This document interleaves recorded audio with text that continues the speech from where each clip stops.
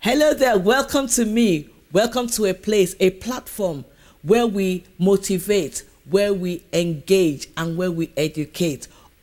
Topics that have to do with our mental health, with our situations, our families, our parents, you know, for our communities. But it's also meant for other people as well. So I want to encourage you as you join me today and for 2022. Please subscribe if you haven't done and share with somebody else send your comments, like it. And you know what? I tell you, we're going to have a good journey together. Today, we're talking about new beginnings. So, once again, Happy New Year. New beginnings. Welcome to 2022.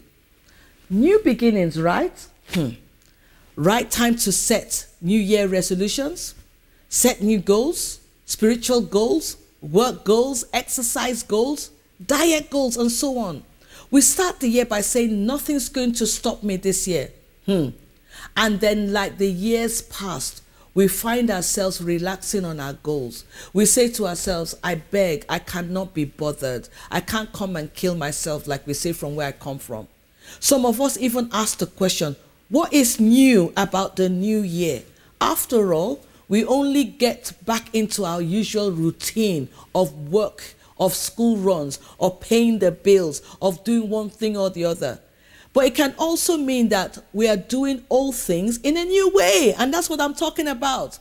I read a story of one of the greatest musicians in the world, Joshua Bell, who took part in a social experiment organized by the Washington Post about perception, taste, and people's priorities.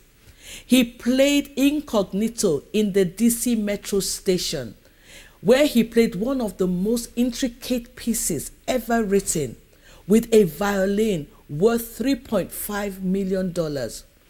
Remember, two days before, he had sold out in a theater in Boston where the seats averaged $100 for each person to listen to him play the same music. And yet, nobody appreciated his music in the DC Metro station. Why? If something seems common or not done in the usual setting or is free, we tend not to perceive or appreciate its beauty. My admonition to you today and in 2022 is that you need not feel guilty or be under pressure if you're having difficulty ticking off your resolutions. Start the journey with a new lease of life, yes. Drawn from the beauty in your environment. Life is short, so let's just strive hard and make the best of it in 2022. Don't stress about, I've got to fulfill this, but I can do what I need to do with life because life is beautiful. Have a good new year.